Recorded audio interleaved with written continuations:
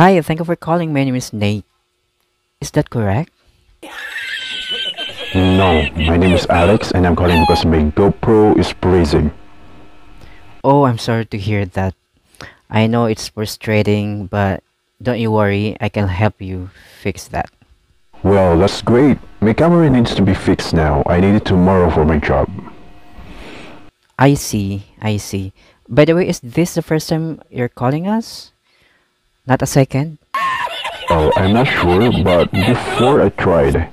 But I think yes, this is my first time. Okay, great.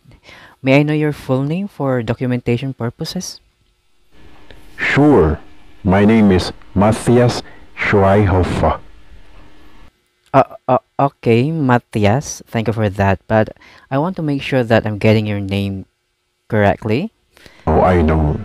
It's hard to pronounce my name because I was born in Germany and yeah, of course I am I am a German and that's hard to pronounce.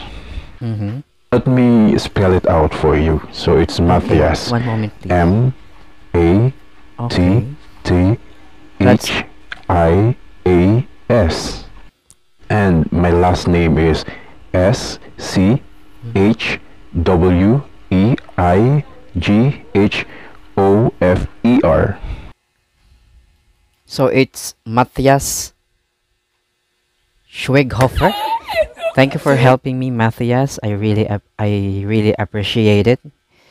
But before this call ends, um, What? is there anything else I can help you? No, you told me you're gonna help me fixing my camera, right?